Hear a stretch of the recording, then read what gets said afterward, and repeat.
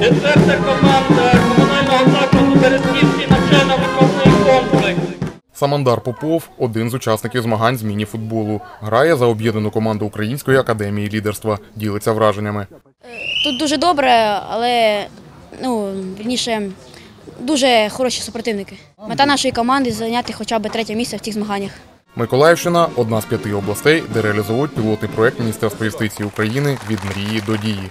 Завдяки е, об'єднаній співпраці правоохоронних органів, органів закладів освіти, е, е, працівників слова, засобів масової інформації, ми об'єднаємо дітей навколо добрих ідей, навколо доброї поведінки, нав- навколо патріотизму і побудови правової незалежної демократичної держави.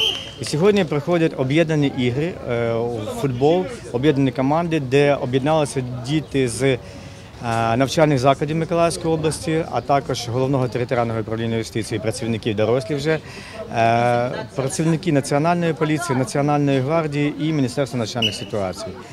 Участь у турнірі беруть шість команд. Їх розподілили на дві групи. Переможці гратимуть у фіналі. Команди, що фінішуватимуть другими, зустрінуться у матчі за третє місце. Про особливості турніру говорить головний суддя змагань Леонід Малий. Регламент соревнований – это два тайма по 15 Регламент змагань це два тайми по 15 хвилин. Цього я вважаю достатньо якраз для хлопців, тим більше, що вони не професійні футболісти. Я вже побачив прекрасне, відверто кажучи, у нас це вже йде продовження турніру. Прекрасна гра, де навіть закінчилася з рахунком 9-9. Ніхто не хотів нікому поступатися, і це тим більше радує, що відбувається гарна спортивна боротьба. Хорошая спортивная борьба. Вибір саме міні-футболу не був випадковим, говорить начальник головного територіального управління юстиції у Миколаївській області Роман Возняк. Ми питали у дітей, що б ви хотіли, де б можливо було б об'єднатися і гарно провести час і поспілкуватися. Діти запропонували футбол. Тим паче, ви бачите, там навіть дівчата є е, футболісти. Тому діти захотіли, дорослі реалізували.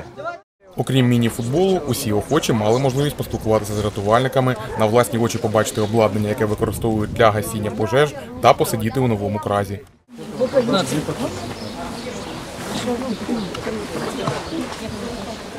Тим самим е, в рамках футболу почувствує себе рятувальником і може в майбутньому їм це пригодиться. Може хтось стане до лав ДСНС, може хтось в когось відложиться в пам'яті і може якимось чином навіть когось допоможе чи врятує.